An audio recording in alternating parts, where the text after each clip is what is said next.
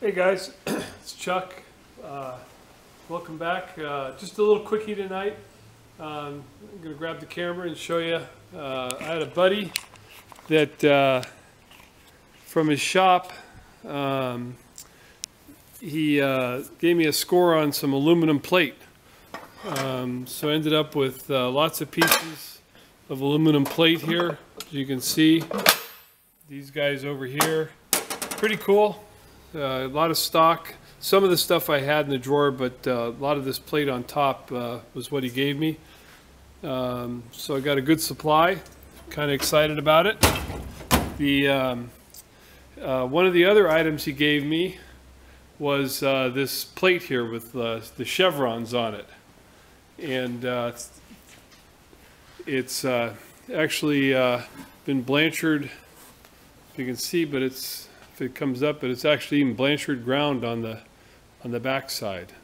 Looks like it's blurry to me, but um, and then uh, all sorts of other miscellaneous miscellaneous items. Uh, some blocks of aluminum, uh, a lot of rounds that I brought home, uh, all sorts of stuff. Good to always have uh, all sorts of uh, miscellaneous pieces we're in the shop. Been handing a lot of stuff out to buddies. Uh, can't keep it all. But uh, what do you do with uh, this plate with these chevrons in it? Well, let me show you.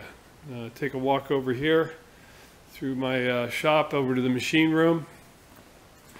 And this is for Adam over at Abon, Abom 79. He had the, the rubber tops for his mill that he picked up. Well, I got some uh, bling on my mill now. Um, added these uh, as uh, mill covers, uh, the table covers, and uh, kind of happy with it. My old wood one is down there, and and uh, when the cool mist got to the wood, it kind of warped it.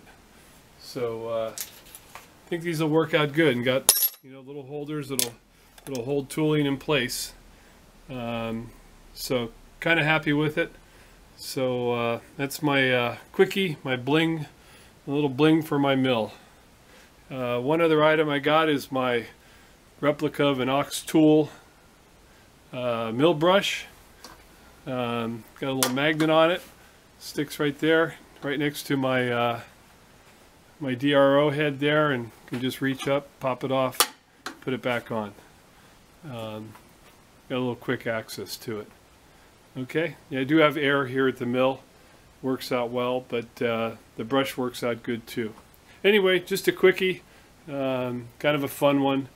Uh, little little jab at uh, Adam there to pester him. All right, guys. Hope all's well, and uh, hope to get something uh, something new up here, some project uh, to take a look at. Take care and catch you soon.